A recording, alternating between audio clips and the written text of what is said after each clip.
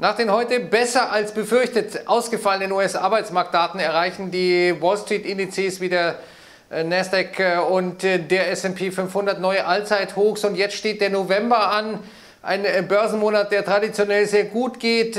Was soll da jetzt eigentlich noch schiefgehen? Schauen wir uns doch mal erstmal diesen November an, wie der statistisch bisher gelagert ist. Wir sehen, dass es durchschnittlich im November an der Wall Street 1,31 Prozent nach oben geht. Drittbester Monat des Jahres. In 66 Prozent der Fälle geht es äh, nach oben. Und wir sehen aber auch, dass die allermeisten All-Time-Highs, die allermeisten Allzeithochs eben im November bisher erreicht wurden. Und wenn wir uns mal anschauen, dass der Dow, nämlich der Dow Jones, äh, seit 2012 in einem November nicht mehr gefallen ist, der S&P 500 sogar seit dem Jahr 2011 waren, also alles positive, positive November seitdem, äh, da ist doch jetzt alles in Butter. Und dann haben wir dann noch die US-Arbeitsmarktdaten gesehen. Wie gesagt, die waren spektakulär gut. 128.000, naja, 100 äh, bzw. 85.000 waren erwartet. Das äh, hat man in den USA gefeiert und gesagt, Mensch, ist doch alles gut, ist doch super. Man vergisst dabei ein bisschen zu erwähnen, dass der Arbeitsmarkt ein nachlaufender Indikator ist. Wir sehen, dass die Arbeitslosigkeit jetzt bei 3,6 Prozent ist. Die ist gestiegen von 3,5 auf 3,6 Prozent. Und wir sehen aber auch, dass gerade diese niedrigen Arbeitslosenquoten immer ein bisschen besorgniserregend sind. Wir sehen hier diese grauen Schattierungen, das sind Rezessionen. Und man sieht, dass jedes Mal kurz vor einer Rezession eigentlich die Arbeitslosigkeit auf dem tiefsten Stand jeweils ist.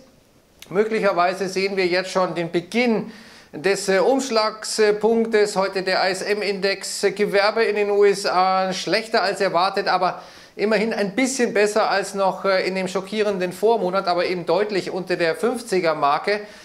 Und wir sehen auch beim ISM-Index, dass möglicherweise, das wollte ich nicht zeigen, dass möglicherweise hier die Dinge noch schwieriger werden. Hier sehen wir nämlich die Importkomponente im ISM-Index, die so eine Art Frühindikator ist für das, was dann in der US-Wirtschaft passiert, denn die Amerikaner sind ja extrem importabhängig und wir sehen hier, dass die Importkomponente auf den tiefsten Stand seit der Finanzkrise gefallen ist.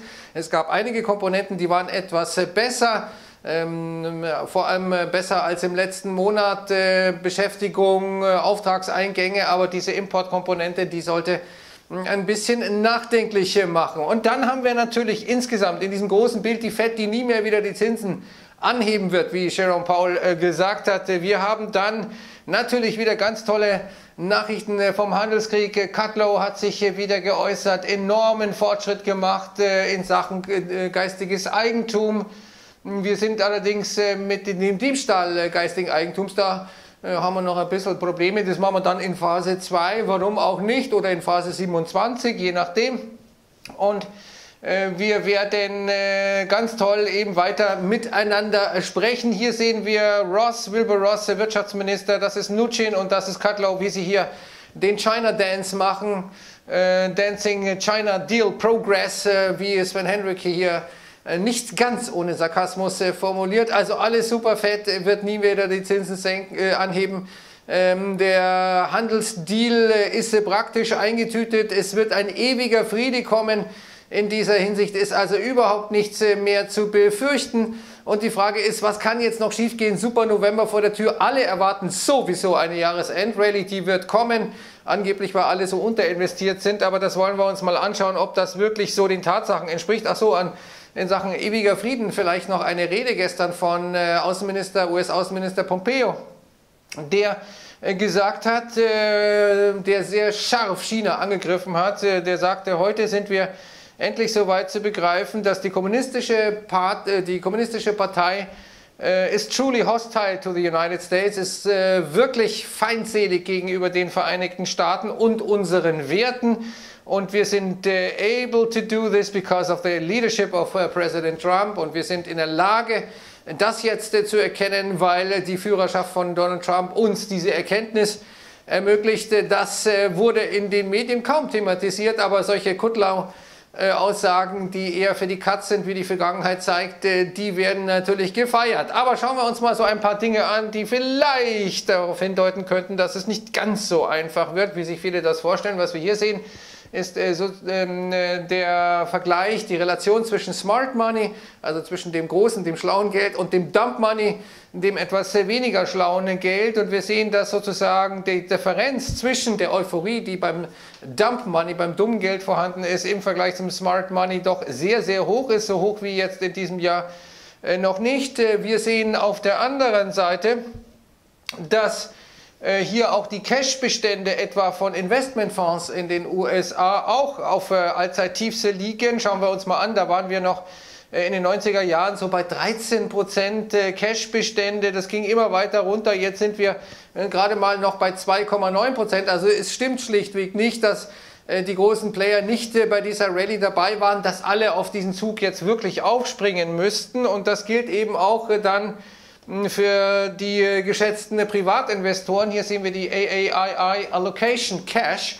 Äh, das ist praktisch die Umfrage, die ähm, AAII-Umfrage, die äh, die Stimmung der amerikanischen Privatanleger immer erfasst und eben auch fragt, wie dick seid ihr investiert äh, in den Markt. Und wir sehen, dass die derzeitige Cashquote praktisch auch auf einem Tief ist, fast so tief eben wie seit dem Jahr 2000 nicht mehr. Wir waren nur einmal noch etwas tiefer.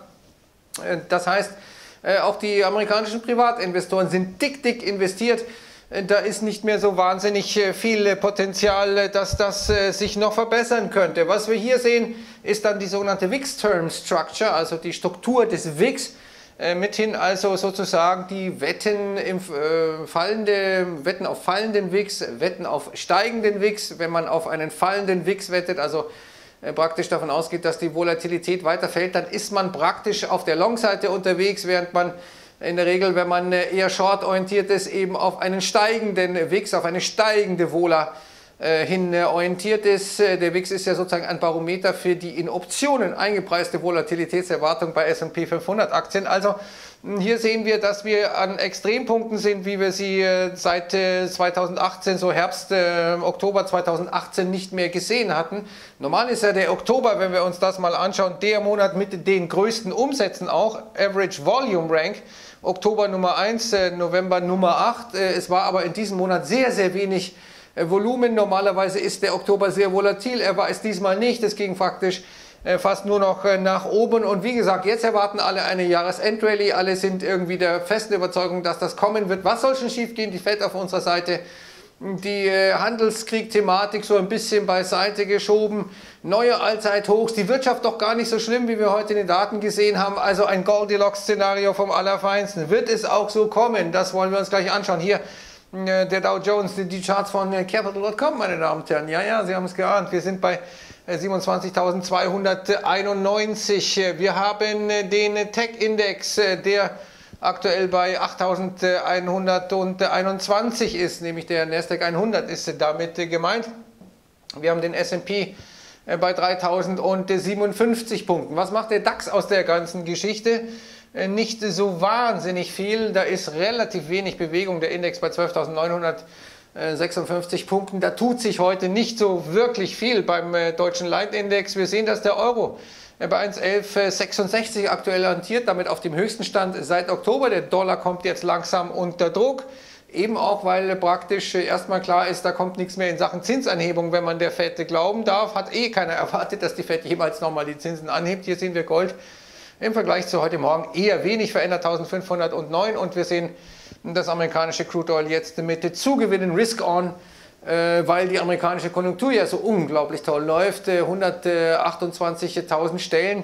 Das ist natürlich schon großartig, vor allem wenn wir uns vergegenwärtigen, dass äh, wir jetzt über eine Billion an Budget-Defizit hinzugefügt haben in diesem Fiskaljahr und ähm, die nationale Verschuldung in den USA um 2,7 Billionen Dollar gestiegen ist. Steuerreform mithin, also ein Steuergeschenk auf Kosten der Verschuldung, Stimulus, Stimulus, Stimulus.